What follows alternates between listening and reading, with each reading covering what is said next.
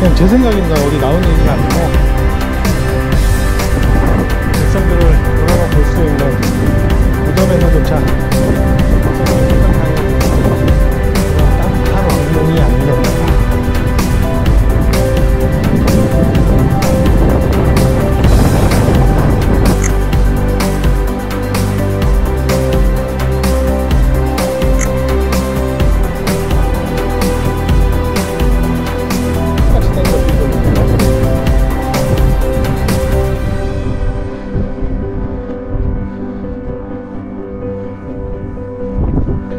이쪽 함안군 읍내 관공서와 학교와 뭐 이런 게 다 있는 네, 이곳을 내려다 볼 수 있습니다.